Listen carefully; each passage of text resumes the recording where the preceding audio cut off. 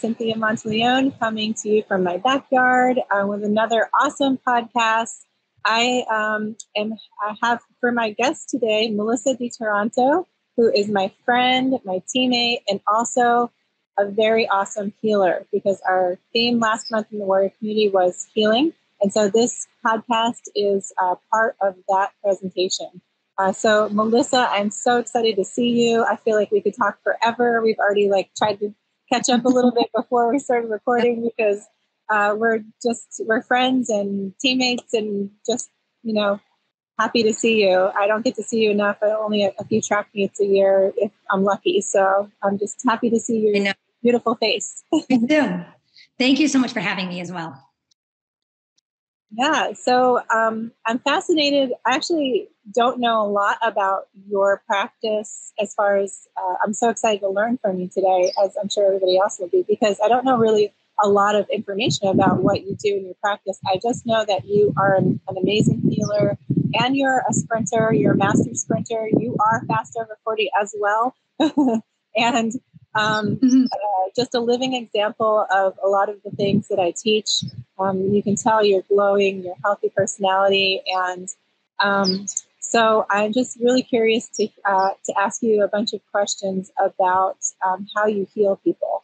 So okay, definitely. So, yeah. So my first question is um, are you a physical therapist? Like, what do you call yourself? But I know I know you do dry needling, so which um, is fascinating to me. So, do you have a certain title for that, or how does that work? Yeah, so I'm a physical therapist. So I went to school. My first degree was in uh, physiology, kinesiology, but then I went to get my they call it the doctor of physical therapy. So it's a clinical doctorate in physical therapy, and then from there for dry needling, you um, you have to have a certificate. You actually have to be certified in order to dry needle people, because we use acupuncture needles, and you can actually hurt somebody if you do not needle them correctly or needle them in the wrong spot um, you do need to be certified. So um, I do that. And then there's some like other certifications such as, uh, you know, strength conditioning. And um, I have some other manual therapy certifications that I do. But, you know, for overall, it's a physical therapist. Awesome. Um, so, wow. So you really know your way around the human body. Uh, uh, and muscles and tendons and what everything that's working together to do what we demand them to do. Um, do you have a certain type of patient that you work with uh, in particular? I interviewed my physical therapist, Pete, who uh, used to work with um, athletes in Miami, but since he's moved to Maui, he works with more of the general public, and it's like you know uh, people rehabbing just various injuries and things like that. But he gets to work with athletes sometimes, like me, which he loves. Um, but do you have a particular type of patient that you work with? Um, so I work a full time job at an outpatient physical therapy um, clinic at based a hospital based. So I actually see from younger younger kids up to older like 95 96 year olds um, many different things i see in that realm it's more like i can see athletes and i can also see someone who's 96 years old that just had a you know had some deconditioning and uh, we're seeing a lot of that recently with a lot of deconditioning and weakness and stuff like that. Um, it could be, you know, a lot of total knee replacements. It could be a rotator cuff tear. Um, so for that, I work with a realm of different things. I have a personal business that I actually work specifically with athletes. I do have like a few, um, general population that I, I have um, but I do that specifically because I go to their homes and then I bring, I do a lot of, a lot of the manual therapy that I do, um, cupping, you know, dry needling, soft work, instrumented uh, soft tissue mobilization, um, and then obviously supplement that with exercise and education so that they can continue to play. So I work with um, a lot of football and track teams right now because I know some of the coaches and we just kind of work together and just so they can keep performing. You know, how can they perform still, but maybe back off, modify, um, but still participate? Or do they have to, they take some time off? And what can they do, you know, to continue to, you know, be better at the sport and perform better and not get hurt? So um, I love that you work with athletes and um, particularly with teams and track and football. Oh my gosh, there's so many different things that come up with that. Um, but yeah, I was I was talking with Pete, um, my physical therapist, about how there's that fine line between returning to play, like can you play, when should you back off, and um, the fact that it used to be in the old days, you know, it was just rice, it was just rest and ice, and now there's more of a trend towards actually moving the injury in a minimal way for uh, you know a period of time instead of just resting. So, what what's your experience with that? What do you believe? Like, do you have an opinion on rice and or movement, or what do you think? Well, I mean, when I first learned, everything was rice, you know. But I'm, um, I won't say I'm an aggressive therapist, but I am someone who wants to have my athlete continue to play. Part of that is because I'm an athlete and I don't want to be without training. I don't want to be without competition. So I get it. However, there is a point where we have to back off sometimes i'm saying okay you have to you have to take this week off and this is what you're going to do or this two weeks off. These are your things. This is your active rest. And so active rest is more you might be resting and not performing your exact um, you know program that you're going to whether it's a strength and conditioning program or if it's your track coach having you be on the track or football drills or whatever it is. And i'll say back off on this this and this but let's do this, this, and this. Let's work on getting the soft tissue mobile. Let's work on getting our joints to move. Let's work on our movement patterns so that we can start to get things to work. We want that the neuromuscular system, the neurological system to work kind of optimally and work together so that you can get back to performing stuff. So I don't believe in full out, don't do anything rest, but I do believe in recovery and I also believe in between injuries, I be- truly believe in body work. Whether you go to a massage therapist, they're wonderful. You could go to a chiropractor who does things. You can go to a physical therapist. You could do a combination of acupuncturist. I mean, they're wonderful. I really actually enjoy Eastern medicine personally. I love Eastern medicine. And I like the mix between Eastern and Western medicine um, because I do like the the natural healing of things. Um, when it comes to nutrition, as you know, I really am very, as we talked about it so much, and I really in, know that if you're not eating correctly, then your body's not going to heal. If you're not, your body's not going to recover. If you're not taking the right supplements or the the correct nutrients in your body, it's going to affect you. And I've learned this. I've learned so many things from you, not only in that case, but also kind of kind of educate my athletes because you have to be able to optimally work this this this machine that we have, this beautiful machine that heals just heals. And so if we don't do that in between whether you have an injury and but you also want to do it recovery. So I, um, for example, yourself, I would say, okay, you had a hard workout this week. You had a hard week this week. Coach killed you, right? Well, you might want to do something. You might want to get into a cold plunge. I, I really believe in those. I hate them. I have a hard time. I'm trying. I'm trying. I'm really going to try. And I saw you in there like sitting, and I'm like, oh, because I hate the cold. But get in a cold plunge. Maybe there's a contrast bath that we like. Maybe you come to PT and you get some dry needling because of the way the dry needling can not only release certain things, um, you know, in injuries and myofascial trig- trigger points, but you can use it as a recovery tool. Sometimes I'll use it and I'll, I'll needle somebody in, entirely down their spine, down into their legs, and let that whole the neurological system take over because it actually not only releases certain trigger points, but it does help with the with so many other things. Um, kind of resets that neurological system, which is which is excellent.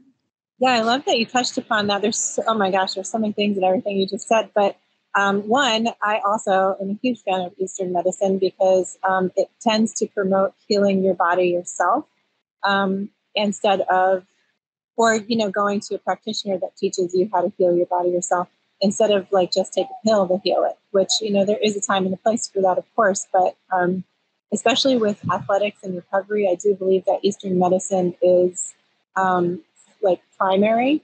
And the metabolic analysis that I do is actually based in Eastern medicine.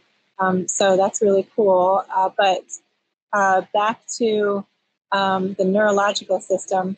Yes, I we did, we were talking beforehand. I got killed in practice this week, just nailed, um, and I I got ran so hard yesterday morning. I actually fell asleep for an hour and a half um, in the afternoon, which is a sure sign of we won't say overtraining, but hard training, borderline overtraining, um, when you have to sleep during the day. Uh, right. So, uh, but I, I really needed it, and I felt definitely some recovery afterwards. Um, so in that case, right, I'm upping my supplements. I'm drinking more water. Definitely doing the cold plunge this weekend. I am doing ice bath, and I'm going to get into my mountain stream in my backyard. Um, I'm going to do both. So I'm aware of uh, definitely the need to recover. And there's a reason why, like in our strength and conditioning program from my mentor, Charles, um, a lot of times we'll do a lower body workout and then you don't do another lower body workout for at least 48 hours, if not longer. You give yourself two days of rest because that tends to actually, you know, hit your neurological system more. Um, so, like being aware of hitting that neurological system and then recovering it is, you know, definitely, I, I completely agree. And so I'm just fascinated with the dry needling. I know nothing about it. So how do you decide then? You said down the spine for neurological. What would be like something for like a hamstring injury or something like that? Like someone feel like they, they strained or pulled their hamstring. And does it matter which side? Because my mentor found that um, I'll tell you a little story. He was hired by the Tampa Bay Buccaneers uh, years ago because they were having hamstring pulls in their um, training camp more than usual, which we all know that football is and sprinting is hard on hamstrings. And so they hired him to come in uh, as a strength coach, of course, but he knows so much about nutrition and Eastern medicine. And what he found through blood testing these athletes is that if it was a left hamstring pull, it was a magnesium deficiency that they had. And if it was a right hamstring pull, it was a potassium deficiency, and he prescribed them potassium citrate. Um, so, mm-hmm. and yeah, I thought that was really fascinating. And to this date, nobody has done research on this. Nobody can back this up with any science. But I have done with my clients, if it's a left side, a whole left side lower body, anything, calf, um, ankle, whatever, I have them take extra magnesium. If it's right side, I have them take potassium citrate, and it always works. So I'm just totally fascinated with the science behind that. Nobody's ever researched it. Maybe you can be the one. But I know. Well, you know, a lot of like functional medicine, um, like functional medicine, that's like when I got I got into medical school. I, I, wish I did go at some point, but it's a little regret, but it's okay.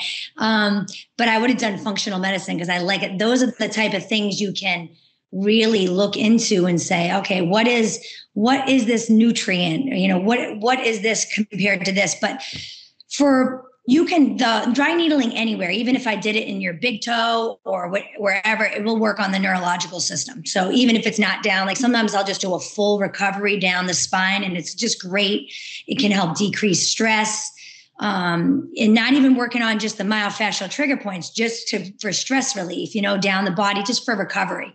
But a lot of the times, I have for dry needling, I do, you know, we'll do hamstrings, for example. So because it's a huge thing um, in you know running and sprinting. I do m- multiple hamstrings. I do it with and without electrical stimulation. The needling you can put electrical stimulation on the needles.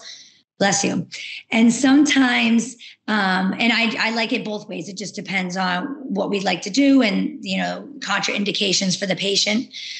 But um, dry needling so we use acupuncture needles. And it's we don't use acu they're not acupuncture points so they have acupoints in acupuncture they are amazing an acupuncturist know all these things that as a certified dry needler, you don't know. You cannot you cannot go into work with someone and say, "Well, I'm going to hit this acupuncture point to work on your kidney function." We don't know any of that systematic stuff. That's that's left to the the more educated in that area, and that would be them, especially when it comes to the needles um, but we do the musculoskeletal and then we do kind of go down nerve roots and stuff like that too. Like if we're talking about like back pain and radicular pain, we'll go down the, you know, the myotomal patterns or the dermatomal patterns with the needles.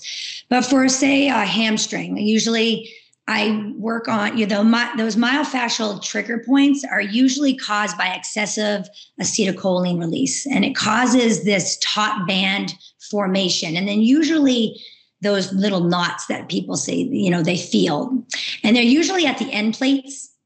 Um, but they're really hard to feel sometimes, those trigger points. You know, they can be active or latent, but there's electrical activity in those.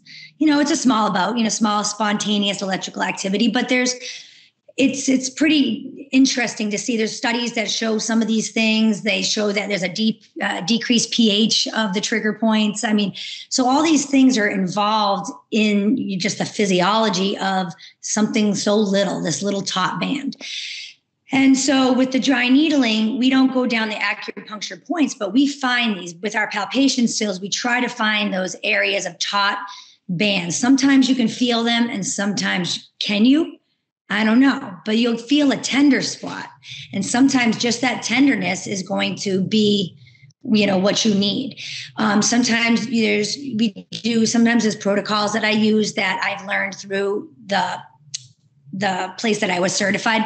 When I was certified, I would, he's a PT and an acupuncturist, so he got to teach us certain things. So I'm sure we are going these protocols. I'm sure there's some acupuncture points in there, but we can't use them as it.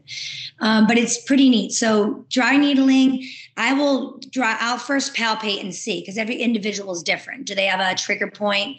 Um, in the glute medius. A lot of time you'll get, you know, glute medius, the glute minimus, you get the piriformis. Um, you'll get down into the hamstring as well, but you want to kind of get up as well into those glutes to release. I'll also get into the lower back as well because sometimes that that hamstring pain could it be a radicular pain or something referred down into the hamstring from the back. So I like to kind of get a bunch of different things depending on the person.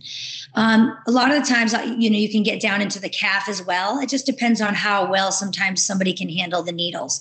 The needles can make you feel really sore, this kind of heavy feeling for about 12 to 18 hours. Um, so depending on how many times that person has done it, if it's their first time, I can do more or less needles. Um, but it's it's so amazing because what not only does it release trigger points and you can feel sometimes you get this where you're looking for this local twitch response. And not all the times do you feel this jump of the needle you know of the trigger point of the muscle that jumps.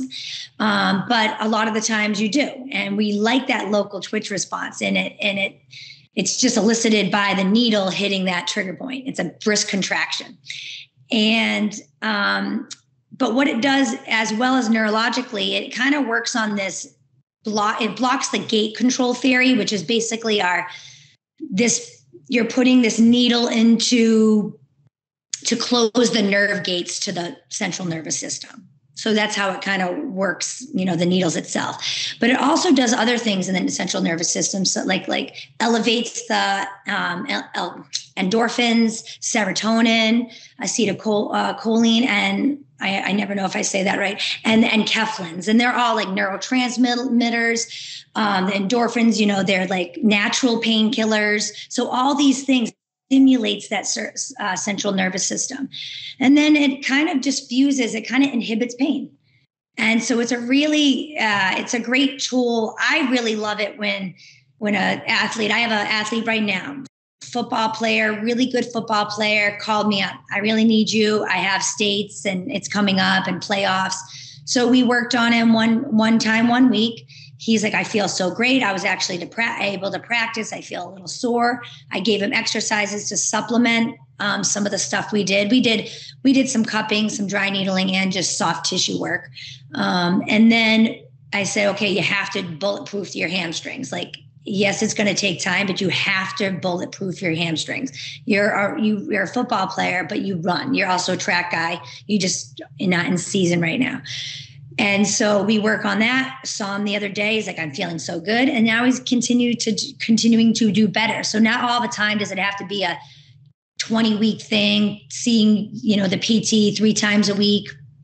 How naturally, so because of the medical system, they want you to all the time come in two to three times a week. Now, sometimes people do need that.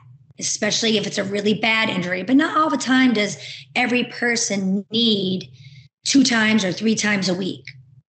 Um, if they are going to obviously do things and supplement things on their own. So I think it's um, that's kind of my big soapbox because the medical system kind of makes you want to come go go go go. It's like well you know take accountability for yourself, get this work done, do the work that is given to you, your homework, and let's see where we go. If we need to see you more, we will. If we don't need to, let's go. Let's now try to work on healing and recovery and then prevention for future injuries. Yes. Okay. So much to mm-hmm. unpack there. So great. Oh my gosh.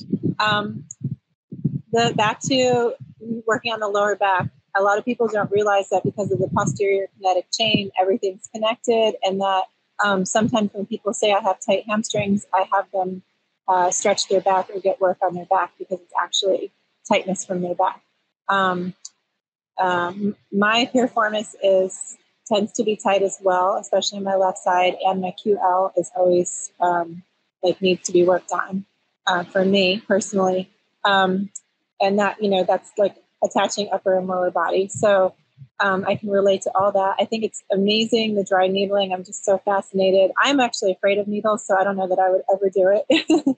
but um, uh, I think it's just really neat that you get to use that tool to work with the nerves. And so it does the, the pain relief, I'm guessing, blocks uh, the nerve signal to that it's signaling pain. Yeah. So it's like you have this non painful input, like the needles, and it kind of cl- closes the nerve gates to that painful input into the central nervous system. So we call it the gate control theory. It's just something, you know, and it's like a, it's a block of that, a block of that. So yes, it doesn't always make things go away. It's this complete magic, but it just definitely, it definitely is very helpful. So that's how it works, the kind of central nervous system, and then kind of elevates these, the other, the, you know, neurotransmitters, the, you know, endorphins, etc., the things that I said before. So that's how it works with that uh, central nervous system as well, which is excellent because you want not only getting a local response of the twitch response, you get that local, you know, release of a trigger point. So now you're getting getting things to move more smoothly. So if you're releasing these trigger points, now you're getting you can get muscle fibers to move more freely against each other. Um, you can it eliminates some of that dysfunction that you can get you know, in those little fibers. Awesome. And so when you said about the knots, um, I've definitely had that before, and I always thought that the fibers were pulling apart, and then they're kind of like uh, not binding back together right. Um, so, what like when you're do the knots you're saying are bundle? Are they the are they those muscle fibers, or what are they? because you feel the knot. So yeah, they're usually, you know, um, you get these. I guess um, how to explain. They're kind of you get muscle fibers that probably are, you know, kind of all bunching up, and so you get these tender points, whether active or um, whether active or latent. Some even those ones that are not so active, they can still be very tender. So, for example, you may not have any pain, but I could go up to you, your say your upper traps, which tend to have a lot of um, trigger points in them. I think a lot of people hold their stress there, and they just they they just have these kind of like little knots in them and these like taut bands of muscle fibers like so the muscle fibers are these taut bands. So there a lot of people think of a ball because they feel like a ball but a lot of the times they're these taut bands that you find at the end plates of and it causes this dysfunction. That makes a lot of sense. Uh, i love that explanation. Okay so uh, I have a couple questions. I'm going to try to, let's see, remember like one of the, there's so many things I want to ask, but there, one of the things um, that uh, we find with sprinting, because, you know, um, I'm a proponent of sprinting over endurance training for aging. And I am right now currently in a series of posts on the reasons why, even though they're all in my book with all of the citations. I had somebody ask me over texting, like, hey, my buddy is running a marathon. And I keep telling him, like, it's not good for him. These guys are in their late 40s, um, like, you know, for aging. And can you give me the reasons why? So I'm currently in a series of posts on the reasons why I'm on number three. I think today's number four. Um, but so I'm a big proponent of um, not running marathons or in like endurance type uh, activities, like even endurance cycling or ultra marathons, any of that, because it tends my one of my reasons down the line will be it tends to cause overuse injuries. Uh, my two part question is what one, what are the injuries you see, if so, in endurance athletes, and two, uh, what measures with strength training measures or exercise do you like to prescribe to build a hamstring? So the first one is um, endurance and sprinters. I, I find the same thing. Definitely calves, um, calf strains and hamstring strains. But I also see a lot of back pain, and then you can get some plantar fasciitis. Um, you know, because all of it is somewhat running, but um, plantar fasciitis you can get i mean they're doing so much and you can get that you know, depending on their mechanics the, the, the, research if i can just interrupt for one second the research yeah. that i have points to actually plantar problems and achilles uh, problems in distance runners uh, way worse than sprinters which i thought was yep. interesting particularly plantar Yes, it, yes, I agree. Um, that's what I see a little bit more of, and you can see it with you know people, the general population, and somebody going too fast too soon, coming in. Whether it's starting a you know 5k you know they're going to do a 5k well they run they go out and run three miles the first time they've run in seven years well that's not going to help you if you do that because you're going too fast as we you and i might know that but some other people don't so the overuse injuries, that could be somebody that's general population. But some of the athletes, what I see is they get back into say, you know, the season. Okay, now it's, you know, now it's racing season or cross country. And a lot of them are very weak endurance runners. They don't do strength training or they don't, they do minimal strength training. They're like afraid they're going to get big. Well, endurance runners run so much, you're not going to get, you're probably not going to get big, but you are going to have lower back issues. I see a lot of, inst- like, it might not be quite instability, like where they're really eh, unstable, but they're definitely not strong. So they're putting a, so much stress on their spine, which in turn doesn't, you know, allow them to, you know, kind of feel just, it just it's not that it's not strong it's not stable. Um, they don't have a lot of glute activation and they usually have probably i would say less than a sprinter you know because they don't do any type of activating exercises. They and they usually don't warm up. They usually probably, that, up that lack of that spine stabilization probably extends down to their lower limbs like all the way down the kinetic chain. Uh, like you know like then they, not strong enough in in their core and their you know in their back then they're going to be moving into a, a, like you know pattern probably that's crooked i would think Yep. No, you're you're you're completely right. They have different movement patterns. They're going to put extra stress on your hamstrings. If their glutes aren't activating, and you know they're gonna it's gonna cause more back pain but it also is gonna cause you to use more hamstring. Are you going to overstride? Are you going or are you just putting more stress on the hamstring because your glutes aren't working well? That in turn puts more stress on your lower back.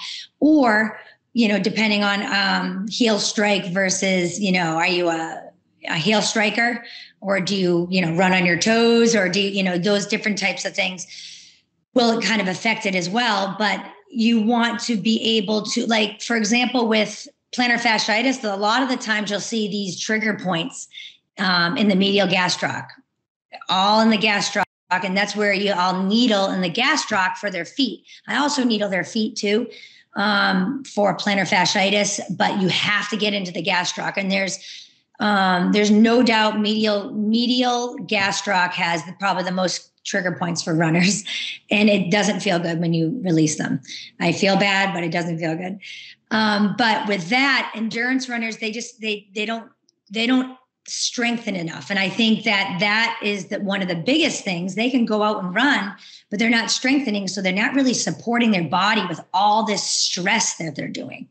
So you do see a lot of hamstring issues calf strains i'd say plantar fasciitis and i'd say low back pain definitely low back pain, which can co- go into the radicular pain. Sometimes, like a people will call it a sciatic pain, right down into the legs and the you know and stuff like that.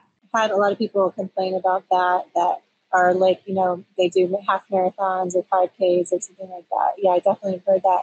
And um, what uh, I would say, I guess, what about people who sit at desks all day and then they exercise?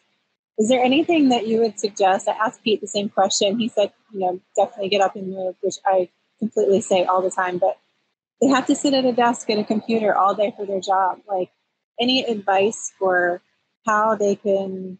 Uh, they usually get the sciatic pain, or they get um, like I found like shoulder or upper back pain because they're constantly in this position. They're bending. You know, it's such a terrible position. And don't even get me started about youth with their the kids with the tablets. Oh my gosh, the parents who give the kids the tablets and the phones, and they're like this early stages of their life. I think is horrendous for all kinds of things, um, including it disrupts the thyroid, the EMFs that come from it. My kids don't have tablets except for when they're traveling, um, and they like for the airplane. And um, my daughter is 16; she still doesn't have a cell phone. So, uh, so I have made it a point to in parenting to keep that away from them. Um, but for people who sit all day at desks, any recommendations for what they should do exercise? Yes. Um, I say if they can do a stand sit desk, that's great because now you can get on and you know out of the position of this. Um, if you can do that. It, I also talk about if you're on the phone and you're on a computer, you might have to be in the computer, you know, right at the computer sitting. So I would say have a good ergonomic setup. But if you're on the phone on a conference call, get up, put a headset on. Okay. Do not have your phone like this um, on there. Put a headset on and walk around. Walk around, stand up. I don't, I mean, some people, if you're not on a video, you can like do exercises. you know, I always say do whatever you can to kind of get up. At lunch, get up and take a walk. Just get up and take a walk. Yeah, I have a client who um, has to be on her computer all day. She's done the stand up desk, but then she got stuck in like some bad movement patterns just standing all the time. So she has to like rotate it back and forth. Um, she tried the back harness, which sometimes works a little bit, the, the harness that like keeps your posture up, um, but it gets really annoying and it kind of like makes her sore sometimes. Um, so I had her like I said every hour do some sort of exercise, like ten push-ups, or um, you know, like she she works from home, so she could do like you know five or ten dumbbell rows on each side, yeah. or um, ten burpees, like just something every hour. Yes, just get out of the position. Yeah, but I feel like if you're sitting in an office, I mean, your coworkers might think you're a little crazy, but you could probably take five seconds or 10 seconds to do some sort of exercise movement, right? Um, yeah. And just, just if you like, and make that happen, you know, like don't pair with anything and wear pants instead of a skirt or something, you know, like make it happen so that you're not having this chronic pain at the end of the day because I feel so bad for people that it's, they're like always in this weird pain from that um, position. Um, that speaking of general population problems, uh, Pete was saying that he sees that younger and younger people are more chronically inflamed, and he can kind of feel like the inflammation in the lymphatic system when he, you know, when he's working on someone, um, and that the older people have more sarcopenia, so they're having a lot more muscle mass loss at an earlier age. And it sounds like that's what you were saying with the deconditioning, maybe was is that like sarcopenia? But so I guess that I'm asking, like, do you see um, problems with the youth coming in today more so? And what about the older people? So, general population youth that are not like, you know, kind of athletes, three, you know, like the, you know, three sport athletes and stuff like that, they have their own issues. But um, I see neck pain, mid back pain, um, gamer's thumb. um, I don't do a ton of hand stuff. Um, we have a hand therapist, so she usually gets that, but I do have a, some of it. But because they're on their tablets and their phones all day long, like this, right? So they're like this the whole time.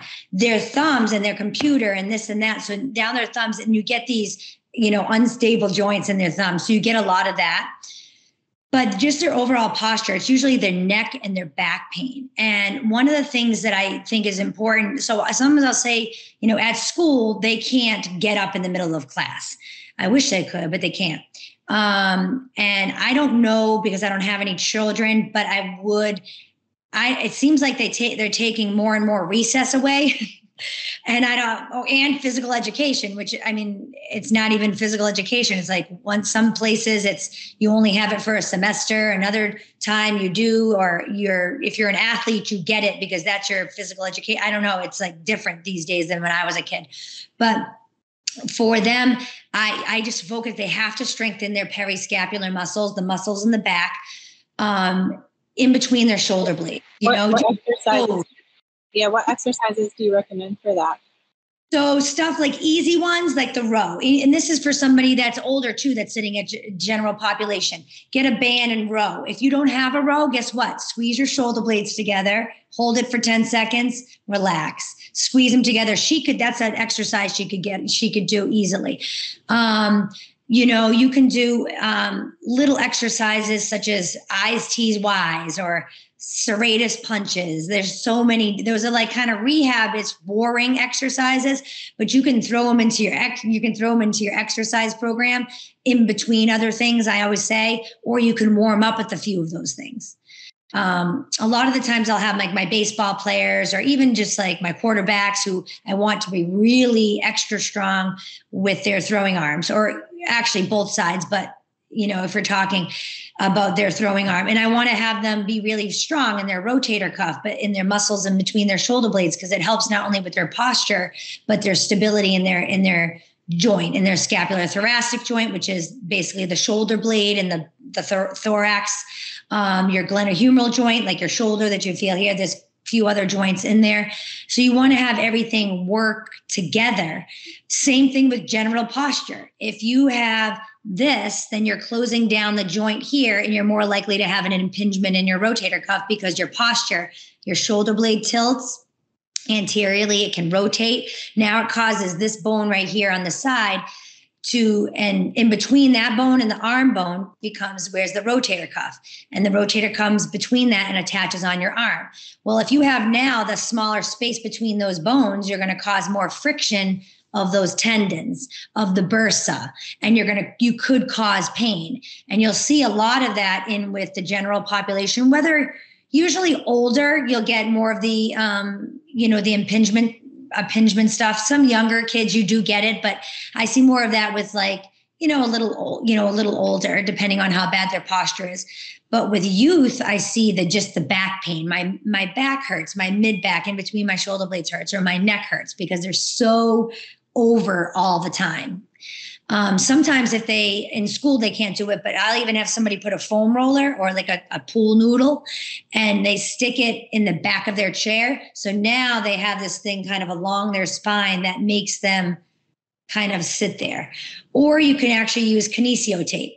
And it's a just a biofeedback. It's not doing anything, it's not holding you there like the harness does, which can be really tough. It can be really hard to be sitting there all day like that but you put like a tape from the posterior shoulder, kind of like here, back, you know, down like an X, and then do the other side like an X. And so now every time they do that, it pulls them, reminds them to, to kind of sit up and have their shoulders back. So it's kind of like a little feedback. Um, so those are the things that I see with the general population with the posture and the youth yeah, those are all really great tips. Um, thank you so much for sharing those. Um, okay, so I guess my uh, one of my well, I want you to talk about whatever you want to talk about too. But one of my last questions was, um, uh, how what are ways that you would give advice for people, um, especially over forty, to be your superhero warrior self? Um, I have several things I always talk about. Like, um, I'm really big into muscle as the organ of longevity, which is what Dr. Gabrielle Lyon says. She's one of my favorites. She, uh, she's an uh, osteopathic medicine doctor. But she says, like, really concentrate on like high protein so that you can keep your muscle mass as you age because the sarcopenia is a really big thing. I actually had a friend um, who had all kinds of fertility problems in her 30s um, when she wanted to have kids and all kinds of stuff. She already had sarcopenia in her 30s. She was a, uh, a model in LA that I was friends with. And um, so she was always on the thinner side because of modeling. And so she didn't want to build up too much muscle mass. I mean, everyone thinks you're going to get bulky, but I mean, really, you don't, it's not a bulky thing. You get lean muscle mass if you're training properly, unless you're bodybuilding and you're trying to do that, which is really hard to do. You have to really concentrate on doing that.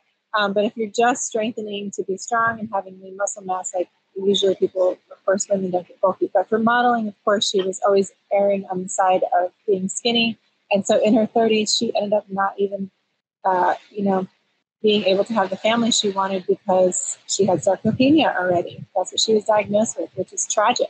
Um, so uh, I guess, like, you know, to be strong in your superhero warrior self, any advice that you would give to our, our warriors out there? Definitely resistance training for everybody. You're not going to get big. I don't care how much you lift. I can. I'm pretty strong, and I don't. I'm not a big, big person, and I have good muscle mass. Um, I would say flexibility because as we get older, our elasticity, our elasticity just definitely gets we get stiffer. So in certain ways, it's okay for somebody who is very, very flexible, who was just like Gumby when they were younger and they get a little stiffer. It's probably good. It's a little good. It's not so bad for them. But somebody who's already tight at, you know, when, when they were younger or not so bad, you have to, you know, get those muscle muscles to lengthen because our a favorite way, favorite way for that? Like, are you talking about yoga or just in general flexibility? Like any kind of exercises that you recommend for flexibility? Honestly, I would say anything. If you do yoga, I think yoga can be very amazing for people. However, don't try to be like your the teacher. Don't try to be like the next door neighbor that's that's doing yoga next to you that they do yoga three, four, five times a week and you don't. And then you try to compete with them because I've done that before. many times. And I'm like, oh, I can do this. I'm an athlete. And then I come out like, oh man, because I'm not as limber as they are. And um, everybody's oh, different. level. That for a second, they're right. And also, as sprinters, we actually don't want. I have a big thing about yoga and sprinters. Like as sprinters, you really don't want to be that flexible. Like you need no. to have enough flexibility for your range of movement, um, which I think can be done through st- proper strength training, actually. But you, I think that I've seen a trend with elite sprinters on their Instagrams that they're doing so much yoga. And I'm like, why are they doing so much yoga? Like, you can be over, I feel like over flexible, and then you don't have that uh, elastic explosion pop for the sprinting. Just my opinion, but no, um, it's no 100 percent because it's the it's the elasticity. You need that that you need that stiffness in the tendons in order to get that power. So as a sprinter, I, you know, I'm not saying don't go do yoga. Go ahead and do yoga, but every day I would say it would depend on the individual. We would have to see exactly who this individual is. Is it something that actually keeps them just just alive enough in their range of motion or is it something that's hindering them? So there's that fine line. And everybody's different, so every individual should be looked at, okay, who is this? Because you and I, we'll have, we might run the same races or right, you know, we might be sprinters, but even if we run, you know, you run a little longer than I run usually. I like to run the 100, you can run the 400. but even though, you know, it's a there's some differences in the, you know, energy systems and different, you know, stuff like that you know you're you might be more flexible or less flexible or we might need to get you stronger here or, stronger here or no this is your weak point or this movement pattern is yours but this is mine. So that individual is individualism is so important but in general we do want that stiffness as sprinters. You have to have that sprint uh, that stiffness because that's where it's your stretch reflex and your power is coming from. So you want that you want power as a sprinter definitely. Yeah, I I um, have a, a very short yoga series in my warm up that I do, but I'm I'm actually never holding the position. I'm moving into it for five seconds. It's like a little bit of a vinyasa flow, but it's only a handful of exercises. Um, and it does feel good for my range of motion, but it's not like overdoing a you know 20 second hold in a weird upside down position. Or um, and I, I am a fan of yoga for some you know for general population. Um, Although, again, I think that I would like to see more muscle mass. Um, I feel like uh, people who are doing a lot of yoga are not uh, they're not really building the muscle mass. Um, right. So which is you know important for hormone balance, of course, too, as we age because the muscle releases hormones. So it's important for so many things. Um, and you know, picking up bags of groceries, and if you fall, present you know, as you get older, preventing yourself from hurting yourself. So I mean, there's so many reasons to be strong as we get older. So I I love that you said resistance training. I love my my strength coach is Malcolm William, who's right near you. Um, y'all have to meet for sure. But um, he has source performance and he's world class. Of course, he was one of my mentor students, top students. Um, and he assesses me individually. I go out there and he has me do a series of tests and he uh, pinpoints what I'm lacking. Um, so, and then he builds my program. He's like really an artist, in my opinion, but he builds my program around me personally, individually. And I rotate programs about every four weeks. So, um, it's you know i never reach a plateau and i'm always changing according to he periodizes according to when i'm, I'm supposed to um, exactly peak, you know what my major need is and if i have two peaks like an indoor and an outdoor he, period, he does periodization to have me peak then but all along the way i'm still building muscle mass um, and i'm still feeling strong not just for running but just for life in general it feels so good and then i train um, uh, athletes at my home gym here. I have uh, some a pack of jiu-jitsu guys who are going to do a tournament next week. Um, I've got my girl Lauren who does jiu-jitsu, and she is so badass. She is like, I love seeing her like, yeah, I can do three pull-ups now in a row. When uh, you know, last summer she could do zero. So it's just like so empowering to give that gift uh, to someone else uh, as far as giving them, helping them become stronger. So you also do that. You, you give the gift of helping people become stronger and give them the gift of recovery when they're in pain or just needing to reset their neurological system or whatever it may be. And I think being a healer is one of the most important jobs in the universe. So I'm so thankful for you being a healer in the world. Well, when I come to Hawaii, we'll do some dry needling. Oh my gosh. well, I don't know. Will I be able to do it if I'm afraid of you needles? Will. It does I mean some places hurt, but you would start with the I like, have to pretend that they're not needles to yeah. begin with. Right? Because it's mental. I know it is. You know what? So I think a couple things. First of all, I love this. I love Malcolm already from what you're saying because I because I have a strength and conditioning coach background, a coach background, I just don't do it a lot. It takes a lot of time. It's a ton of time and energy to individualize a program for one person. Never mind a 50, 50 people and on a football team. I just don't have time because I do other things. But you have to individualize it for the person.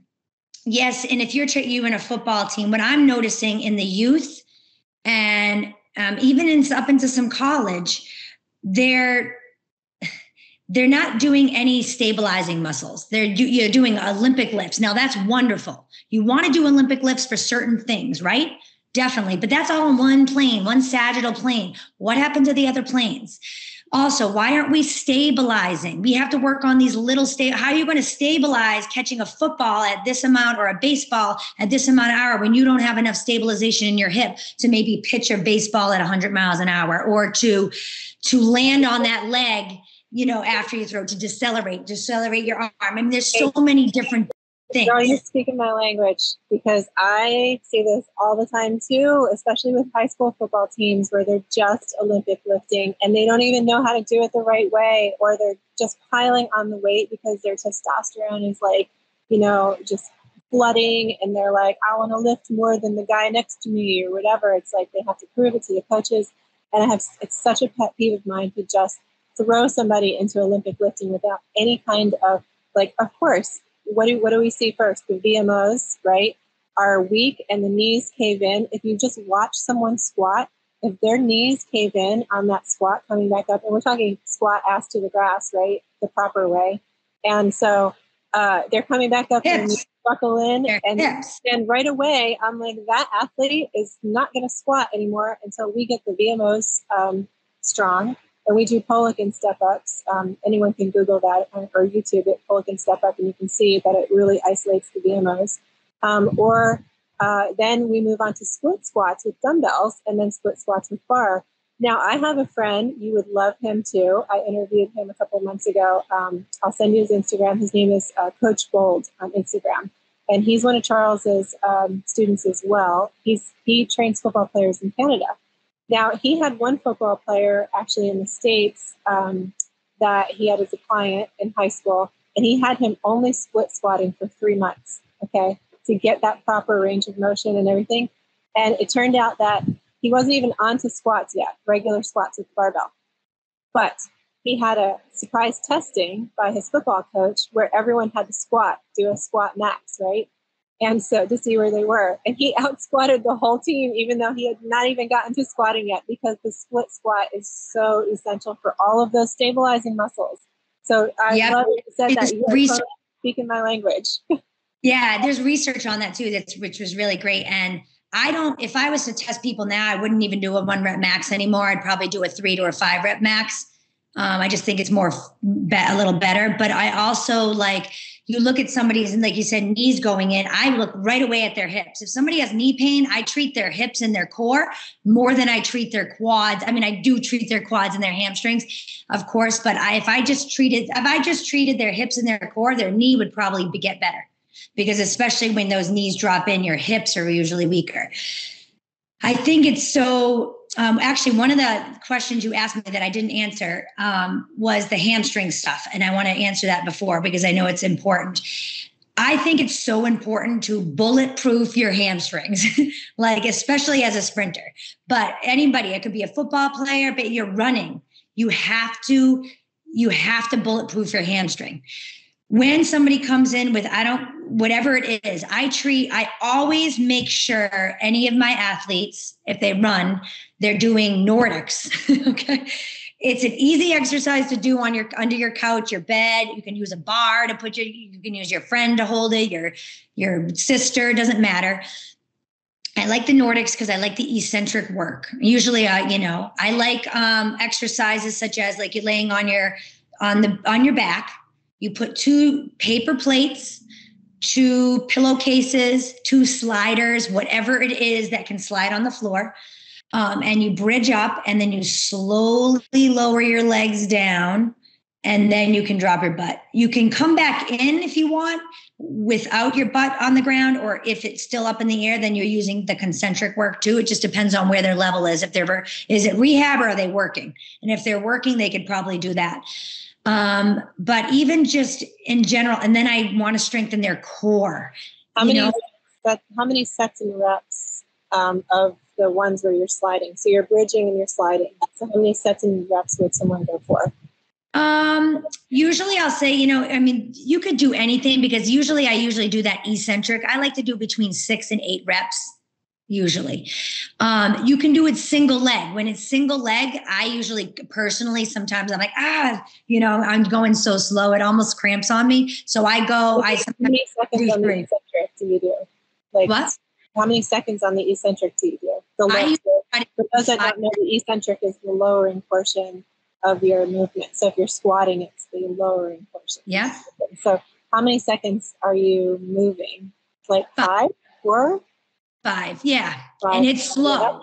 Yeah. Slow. Yeah, and that yeah. I I find when uh, because I'm a big fan of eccentric work as well, especially as we age, because when you're doing those powerful explosive movements, yeah, there's a time and a place for that, absolutely. But did you know that um, prior to me becoming a world champion sprinter, right, I did not do any Olympic lifts. My coach had me doing zero Olympic lifts. So I did that all on eccentric work basically. And the tempo changed. Of course, it was shorter at some periods, and I did do some explosive work, but I did zero of the Olympic lifting, which a lot of people are shocked because they think sprinters and power athletes have to do it. I mean, I've heard coaches say, oh, you have to do fast movements. But um, my mentor was always saying, it's not it's not actually moving the bar fast necessarily it's the intention to move the bar fast which i think is really a fun debate to have with people uh, i love the eccentric work basically because um, it's I find that there's less injury.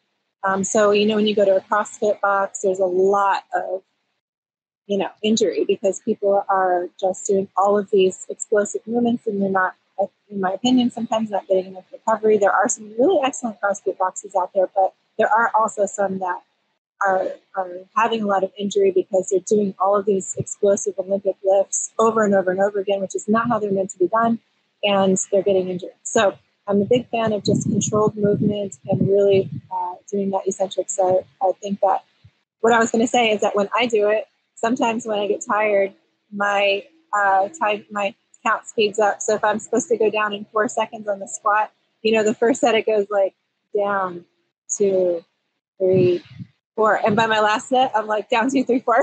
Yeah. head. Yeah. And I gotta catch myself like, no, that's not the count. I know. tempo. So, you know what I would do? I like to do is for hamstring. I really want to always get so for everybody, even my 90 year old people, I have them dynamically warm up. Now, my 90 year olds, right? Their dynamic warm up might be to move in the morning. Okay. My athlete is obviously to move before their practice. However, I use dynamic stretches with people who are, I don't care if they're two years old and they just started walking to 100. I don't, they are dynamically warm warming up. So it could be, like I said, getting, I use people with low back pain. People like, why are you dynamically stretching? Because you have to move your joints, your muscles. So I love dynamic stretching. I love it obviously to warm you up, to get you moving. You work on warming, um, increasing your blood flow. You work on um, warming up the muscles, the tendons, the joints, the ligaments, and then you improve that that neurological system. You're waking up the neurological system and preparing your neurological system for what you're going to do, which is move movement, whatever type of movement it is. Then from there, what I usually like to do is I usually like to get their glutes. A lot of people don't activate their glutes and they don't fire quick. They don't fire on time. So what happens? Their back takes more stress, their hamstrings. And if you're a sprinter or anything lifter, you're going to take you'll be more likely to get injured. So activate their glutes. I have like a, something on my Instagram that I put on glute prep a long time ago. I'm going to have to update it soon. Um, but it's just something to get you going and it burns so bad. And it's not, you're not getting a lot of muscle mass. It's to get it to fire. I want to get my glutes to fire. And it could be very small. You can do a part of it. You can do, uh, you know, the whole bunch of it. It takes five minutes. You can pick a different exercises. There's a million things you can do. Then from there, now you can move, you can exercise. And then if you're going to do some static stretching, that's when you would do it after. My 90 year olds, they may do some static stretching during the day to keep moving or sitting in a chair. I mean, there's so many different ways, and everybody's individual, like you said. But because you have to, that individualism is so important. I don't care who you are, what age you are, especially these athletes, you need to work on what's your season? Are you in season? Are you preseason? Are you off season? What is your you know events like you said? Are they coming up? Are you a three sport athlete? How are we going to do this? It's called periodization as you said and the thing is they don't what i see a lot of now is that that's why people are getting overuse injuries or doing things because they're not they're not cutting their volume back or their intensity back or their sets are back or their whatever it is based on that person where they are in that in their their macro cycle. So they're going to have this say year cycle. Now you're going to break them up into four weeks. You have four weeks right? Somebody may have six weeks. No big deal right? Maybe somebody has eight weeks. That's fine but that's their cycle okay you know it's so important to me that people do that and i don't even care if you're older yeah, you can well right and you don't have to be uh, an athlete in high school like a lot of times um, my my um, audience is you know over 40 people who are just looking to be their optimal self and so i recommend um, actually that they still periodize their training as if they're going to peak for something even if they're not you know they just want to train they just want to sprint to stay in shape right as part of their um, as part of their normal exercise. So I usually say start from your vacation because my mentors always say like plan your vacation first. So plan your vacation. Say if it's in July, then maybe you want to peak right before your vacation. So you want to peak in June. So just pretend that your peak date is June, and then periodize your whole year up to that. And then July you have your off season, and maybe into August, and then you have your preseason in September. That sort of thing. So even if you're not training for a race or anything like that, you're still doing your that way you can cycle in a hard you know hard cycle and then you can back off a little bit. You can intensify and then you can do accumulation you can go back and forth with uh, the more intense right before you get your long break. Um, and that way you actually have your recovery. A lot of times I do have people take go if they're going pretty hard, they go three weeks on, one week off, or four weeks on, one week off, and make them take that week off. And they feel like, oh, I'm going to lose, I'm going to lose muscle, I'm going to lose strength, and I'm like, no, listen, you need that time to recover in order to keep building that muscle. Like I think a lot of people just keep going and going and going with the intensity, and they keep increasing the intensity, and it is not necessarily the way to do it. Um, and a note on static stretching. Uh, Charles taught me that never to static stretch stretch for ice for four to six hours after training because your muscle needs the inflammation. Fibers need that inflammation to heal, right? So he, um, I actually had a nagging like hamstring issue before I met Pete, my physical therapist, because he fixed me right up. but um, and it turned out it wasn't the hamstring. I was crooked. My pelvis was crooked and it was pulling on the myofascia. So it wasn't even a hamstring problem. But it was nagging because I would ice and I would stretch, static stretch and ice because I had someone old school telling me that's what I had to do um, after every practice. And I'll tell you what, when I stopped doing that, even before I saw Pete, uh, he that that pain went away. So uh, because Charles, that's when you know Charles was like, no, no, no, no icing or stretching, static stretching 46 hours. So what I have, um, I'm a huge fan of dynamic warm up too. I have one on my YouTube that anyone can access and in my book. But um, dynamic warm up before training, and then after training, I do a, a, slightly dynamic cool down, very short, if any, walking, if any, uh, or you know, like maybe some uh, walking on the heels or walking on the toes yeah. 50 meters each, something like that. Very minimal. Definitely more jogging and sprinting. and um, no jogging warm up and no jogging cool down. Uh, but because uh, we don't want to foster any slow twitch muscles, muscle fibers.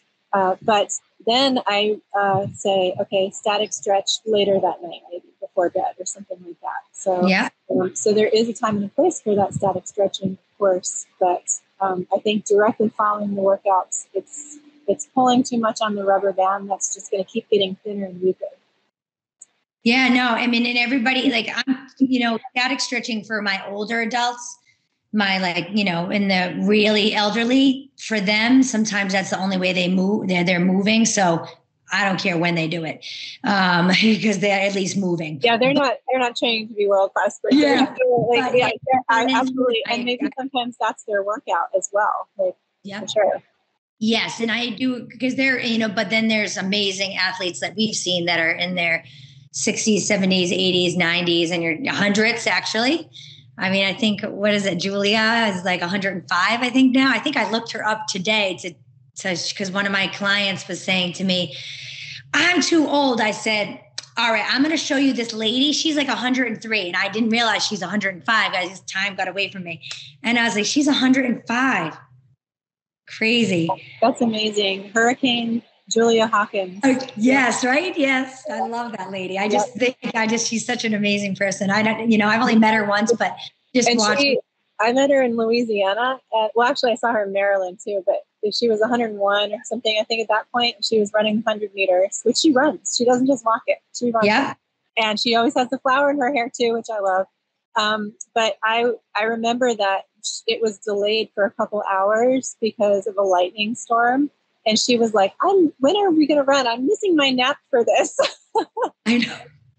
So they finally let her run. She nailed it. I think she set a world record. But yeah, I, I mean, know, right? If um, a hundred and one year old now 105 can still be out there running, like it's possible, and we want everyone to be that way, and that's why we do this, and that's why we have these interviews and everything, so that we can share with people that you too can be your your superhero warrior self for years to come. So um, let's start at an early age. If you're in your 20s, go ahead and start now because all of those aging markers are, are you know, beginning really early um, and getting rid of chronic inflammation and all that stuff and making sure you're paying attention to your proper recovery and just taking care of your body. So, yeah. That.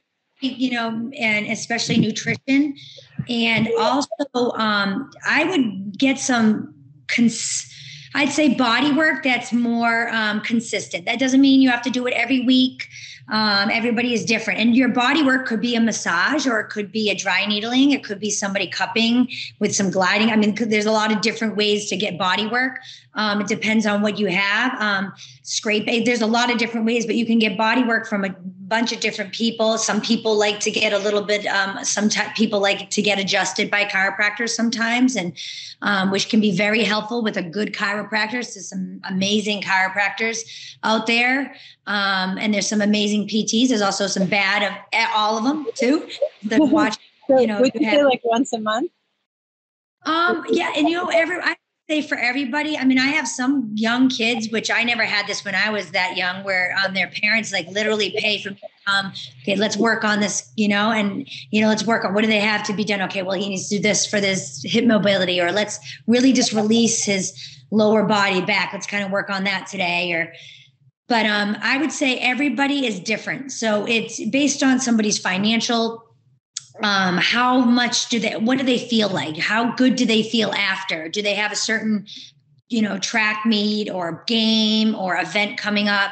Um, is their training really hard at the moment where it's really intense where or it's high volume? Do they need a little bit more body work at this point? And so it depends. And I would do a, a, combination of a lot of things. I think if you have a great massage therapist, they're great because they're different than PTs. We're not massage therapists. We know soft tissue work, and I get in there and I work it and and I do these things. But I'm not going to. I'm definitely not going to give you a therapeutic massage. I'm like getting in there to release. I have no you know nice skills in that other area you know i'm really getting in there to to do and then you know whether it's dry needling and or, or like any of these other things and then getting in there it's just really nice to do i mean i do pretty much everything so i'll I do do some adjustments, but because I go to people's homes for my private business, I can't. I don't have the leverage to to adjust them. I adjust their thoracic spine.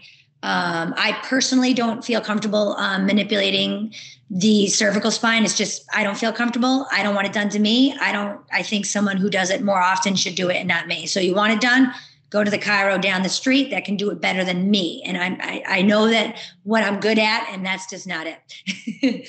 So. Yeah i've had several of those treatments as well. Um, uh, the the use it scraping. Um, so it's like gua sha or any kind of like that sort of thing where it's uh, a tool where they kind of move the yeah everything right. And then I have I actually am a fan of dynamic cupping instead of I the, that's the only thing I do. Oh yeah, I think that's so much better than the. I mean, there's a time and a place probably for the blood to flow for the regular cupping, but then you get all the marks in the back and the dynamic cupping, you don't get that and you get amazing results. So I'm a big fan of that. I actually bought my own set off of Amazon, and I um, will do it for my track athletes sometimes um, as a coach before their races uh, a little bit to you know make them move that tissue and release some things, um, and they love it. Uh, so we'll be in the bleachers, and I'll be cupping. usually with the big one. Try with it too is so the gliding cupping that you're doing, I love that, and then actually cupping with exercise. So I don't really do the static cupping um, very much. Every once in a while, very rarely, I do more of the gliding cupping. Um, where you're moving along on things, and I sometimes I glide, glide the cup with my either with my own hand and thumb or a scraper, you know, one of the scrapers that I use. Um, but I also do dynamic exercise with the cups on. So, for example, I'll do like somebody's spine and I'll put them on their hands and knees and they'll do a cat and camel and they have the cups along their entire paraspinals and then they exercise. So, yes, you might still get the marks, but I personally believe in Eastern medicine, they use glass cups they may use plastic ones now, but they use glass with fire. And so when you put them on there, it wasn't pumped up so much. You can't pump them up, it's air and glass. This is just my personal opinion. I don't, I can't say I, I know any research behind this, but it's my, what I believe. Um, so when now Americans, you know, what do we do? We do everything crazy. We're like, you know. So what we do is we pump it up so much and then we leave it on there for 10 20 minutes. Well there's there's some research that shows there's cell death after three minutes. So why are we pumping up so much and then just leaving it there? And my thing is like okay we want blood flow to the area want to release some of that myofascial those restrictions and stuff. Why don't we put um, the cup on and then have them exercise. Now you have the muscle fibers that are contracting, relaxing, or trying to trying to move, get that fascia to try to glide and slide through the tissue. But you then you're getting blood flow to the area. Now you're actually moving. I find that to be more relief and more effective. I do it a lot with the hamstrings. I have them on stretch off the side of the table. I go down their hamstrings. I have them contract, like do a hamstring curls, you know, say 10 times. Have and you done then, a video of that yet? I would love to see that on a video. I might, you know, something. Yeah. Um, I'll be seeing. I actually probably have done it in the past, but I'll actually either see, look at it again, or I have a guy that I, the guy I see next week. Um, if yeah, I see awesome again, for our viewers to have a video uh, that. Yeah. Yeah. And it's just great, you know, and you can do all different types of exercise with the cups and then not hold it on there for 10, 20, you know, minutes. I just think, first of all, it's the waste of, I don't think it's as effective personally. And even the patient themselves say, Oh, I like that feeling. Okay, so take them off. Now what does that feel like? Ooh, that kind of feels a little looser here. Okay, now let's let's get this, let's look at and how does the tissue feel? How do we what do we want to release here? Do we need to needle here to get a little deeper into the into the glute or the hamstring or wherever we are at that point, you know? So I think it's important to do all different i like the combination of all different things because you just never know how somebody's going to respond. There's some people that hate needles like yourself. They're like i hate it. I hate needles. I hate them however you if you're so scared and so tight that needle is never going to work because now psychologically so it's not going to work pete said the exact same thing he said you acupuncture probably wouldn't even work on you because you don't because you're closed off to it he said I'm actually my body is very open to nor- like the work he does, which is several of the things that we just talked yeah. about. He also does ART on me, but um, love ART. Yeah, and so like he he when he uh, I haven't released a video on YouTube yet, but um, when he puts like these wedges underneath to straighten my pelvis, he said that my body is so rea- like because of my nutrition and my training and everything, my body is so responsive that um, that he could almost literally see it moving into the right position because you know I had the one leg shorter than the other, so he had to fix the slip and all that stuff. Um, I, will share it probably this week, but um, yeah. So he said that like you have to be receptive. So I'm sure you find that with your patients as well. Like if they're not receptive to a certain treatment, they're not going to benefit from it as much. Right, they won't because there is a psychosocial component to every single to any physical therapy. So a lot of the times, I um, there's uh, an encouragement and a positive. You have to be positive and you have to explain. So I do a lot of. This is what you're going to feel like, and sometimes I tell them they're going to feel worse than they do feel because I want them to not feel okay. This is people feel worse than others, but this is the expectation. So expect it. It's okay to do it. If you have questions ask me, but at least they know they're okay. This is what I'm going to feel like. This is the normal. And I explain why they're going to feel that way.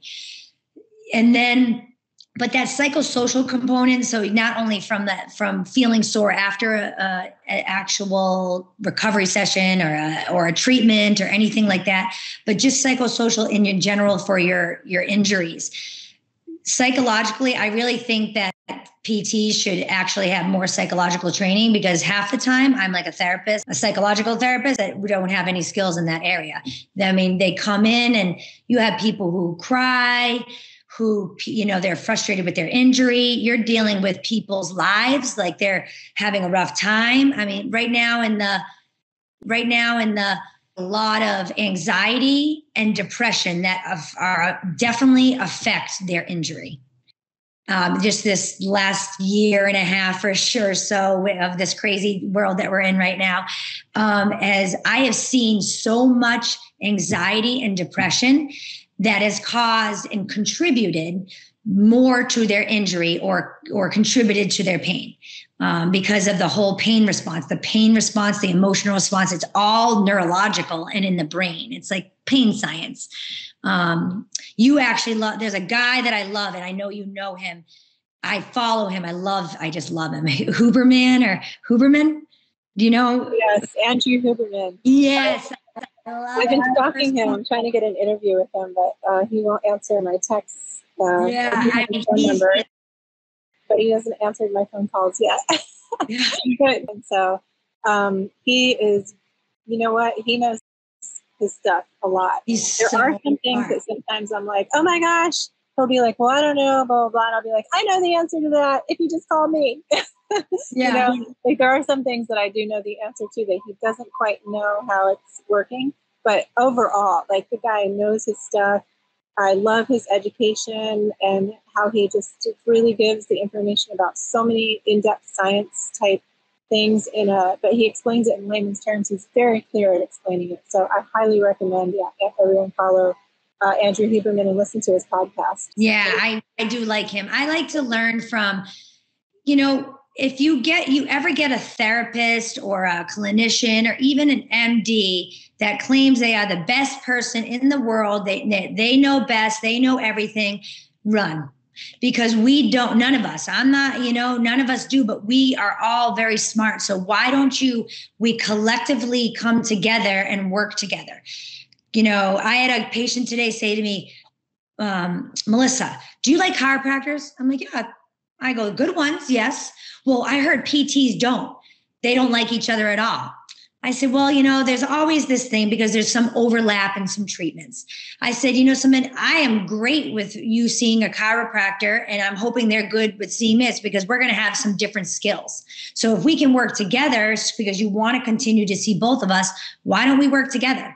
Then we can focus on some different things instead of being in competition with these people. Well, I'm the best well, you should be going to me only. Well, no.